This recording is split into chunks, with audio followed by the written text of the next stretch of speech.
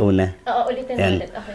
Ah, ah, dahil nga sa frontline, ah, nagkaroon ng kaisipan ang bukod tao na kailangan namin maipag-partner sa iba pang iba't ibang organisasyon Ah, gaya ng university, ang INGO, civil society, and also to ah, LGU.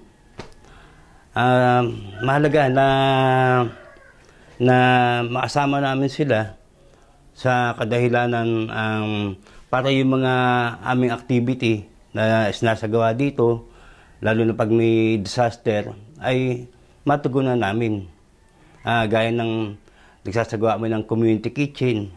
Um, during, bago pa man magkaroon disaster, may naka, ano, na kaming, may naka-imbak na aming pagkain.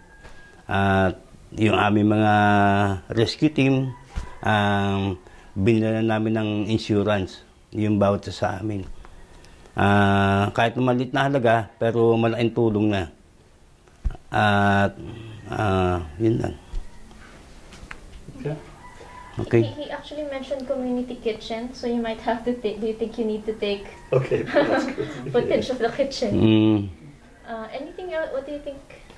Any questions you have? I, I have a question and is from everything that Frontline has done, uh, what would be the, the thing that what would be the, the thing that you consider most important that Frontline has brought to the community, so to Buklod Town? Ano kaya yung ano niyo? Di ba may primer kayo? Binanggit mo na Ay, sa may kanila ano. yung primer. oo. oo. Yung pa- yung advocacy. Ano yung... Yeah, yeah.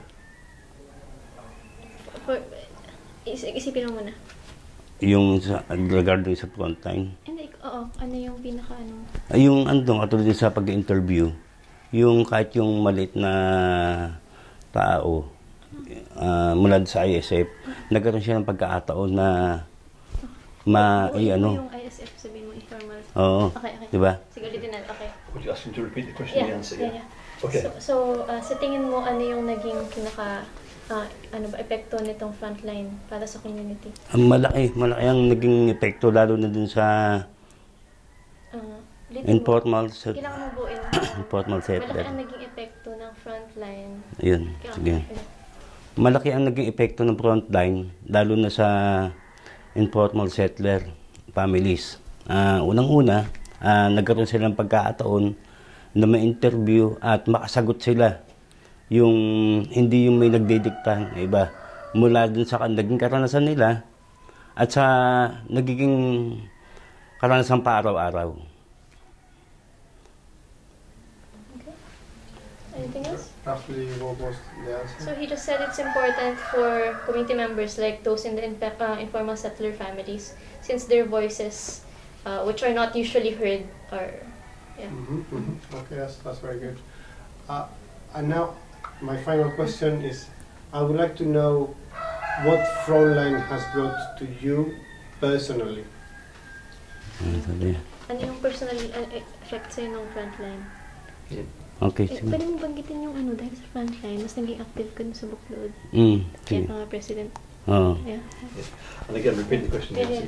Ah, ah, dahil din sa So, uh, ano yung effect, uh, personal impact sa'yo ng frontline? ayan, ah, epekto sa akin personally ng frontline, ah, unang-una, tumaas yung antas ng pagkatao. Yung kakayahan ko na dagdagahan, na yung naging ano sa sarili ko na kaya ko rin na hindi lang yung mataas yung may karapatan na sumagot sa mga katanungan na itinatanong nila, um, natutuwa talaga ako na nabigyan ng pagkakataon yung mga tiga-community dun, na maisama dun sa ano sa proyekto. Okay? Yeah. Yeah. Okay. A summary of